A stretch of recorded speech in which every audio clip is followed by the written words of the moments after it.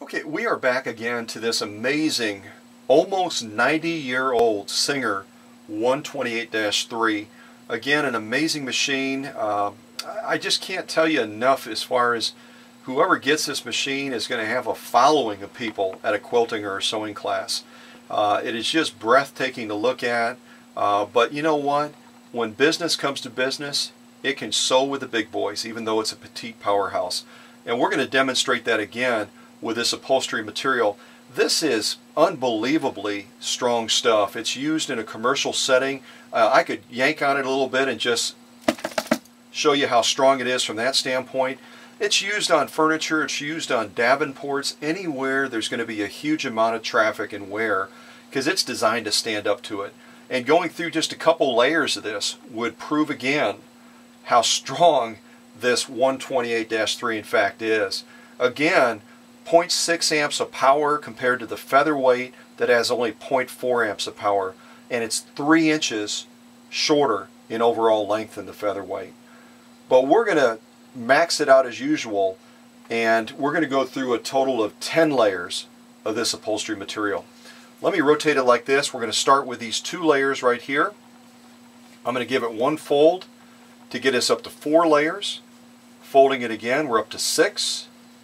Now we're up to 8 and I'm going to fold it one last time to get us to a total of 10 layers. That's kind of hard to see. Let me rotate it around this way so you can see what those 10 layers in fact look like. Can you believe it?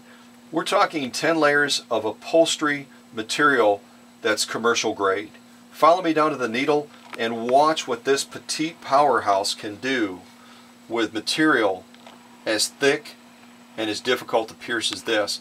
And notice as well, you quilters out there that are looking for a machine with a lot of presser foot clearance, that's a total of 10 layers of commercial grade upholstery material and there's still space uh, left over that you could fit additional quilt batting underneath there. Alright, here we go. 10 layers of some real tough commercial grade upholstery material. Here we go.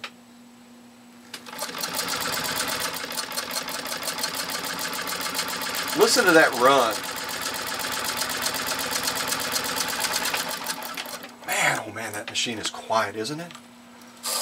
And I'd have to take a little bit of credit for that because I personally service every machine that we have on eBay. And this machine, man, oh man, is she ready to go to work. There's our top stitch right there. And again, we're looking at a total of 10 layers of commercial grade upholstery material.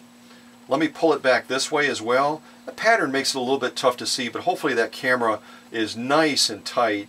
That stitch formation, the stitch quality, the stitch integrity, it just doesn't get any better than that.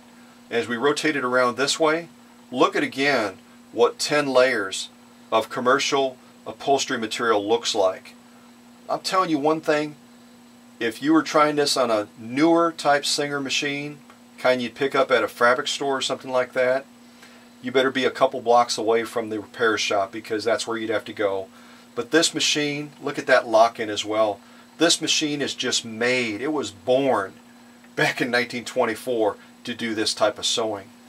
You know what? Every single thing that we put in front of this petite powerhouse of a 128-3, it just eats it up.